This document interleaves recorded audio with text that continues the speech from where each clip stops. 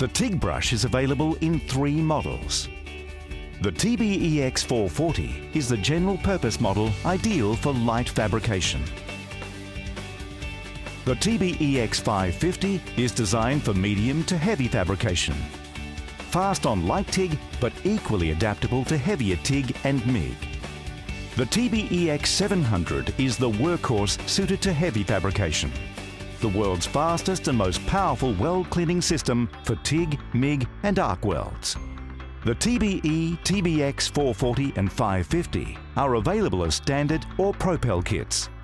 The TBE TBX 700 is available as a complete kit, including the Propel torch and marking kit.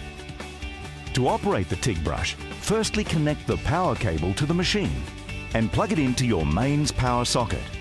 Insert the black earth cable into the black earth socket and turn the fitting clockwise to lock. If using the Propel torch, insert the cable into the red socket and turn the fitting clockwise to lock.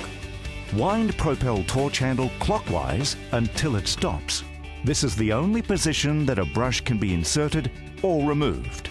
Insert brush into the end of the collet with the PTFE shroud in place, making sure that the brush is fully seated in the collet. When the brush is fully seated, wind handle anti-clockwise half a turn to ensure that the brush collet has grabbed the brush correctly. Pull gently on the brush to confirm it's secure. Turn handle to adjust brush to optimum length to start. You are now ready to use the TIG brush.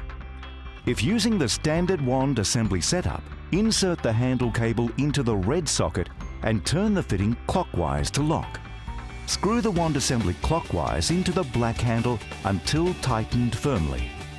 Place the brush into the white PTFE shroud and screw this combination clockwise into the wand assembly, making sure it is tightened firmly. You are now ready to use the TIG brush. To avoid damage to your TIG brush and your work, ensure the insulating shroud is fitted to the brush on the standard wand assembly and the Propel torch shroud is fitted to the Propel torch. To turn on the unit, press the power button at the rear of the machine. It will light up red to indicate it is on. When the TIG brush power dial is positioned on the sleep setting, the machine is on, but there is no power to the brush until switched to the single brush or Propel wide brush setting. The controls consist of the power settings and the mode settings.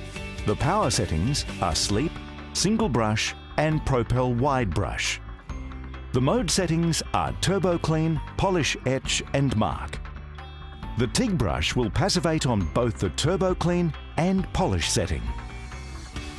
The single brush setting is used when only one brush is fitted to the wand assembly. The Propel torch can be used on the single brush mode, however, when working on thinner material using the 550 or 700, the Propel may be too powerful. In this instance, use only the Propel wide mode. The wide brush setting is used when the Propel torch is connected to the unit, or the dual and quad brush shroud and adapter is used with a standard wand assembly.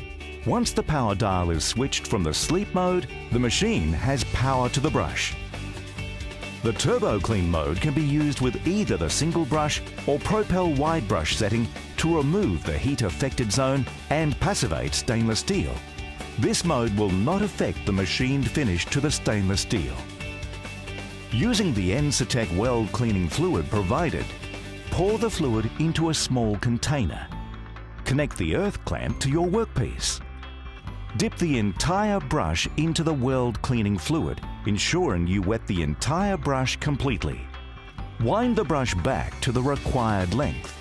Place the brush tip only on the heat affected area lightly and using small circular motions, work your way over the area to be cleaned and passivated. Then rinse off with soapy water thoroughly.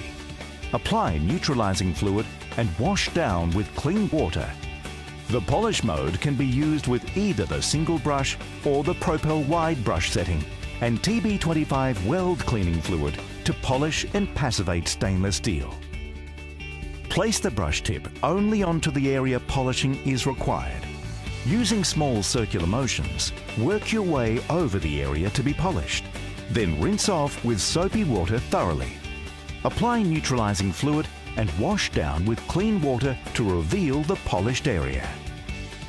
The polish etch setting can also be used for deep etching logos, part numbers and any information onto stainless steel, giving you the same result as a laser etch. The marking mode is used for indelibly printing logos, part numbers and any information onto stainless steel without compromising the corrosion resistance of the stainless steel. For more information on etching and marking, please view our marking and etching video. To replace brush, turn handle clockwise until it stops. This will release the brush. Please note, if necessary, use long nose pliers to extract the brush. Shroud and brush will be hot during use. After use, remove brush, rinse the brush and in the PTFE shroud slots with water. Then spray with the appropriate neutralizing fluid, re-rinse with water and leave to dry. If operation of the torch seems restricted in either performance or adjustment, it may be necessary to remove the PTFE shroud to enable more thorough cleaning. The collet is a consumable item expected to last as long as approximately 20 to 30 brushes.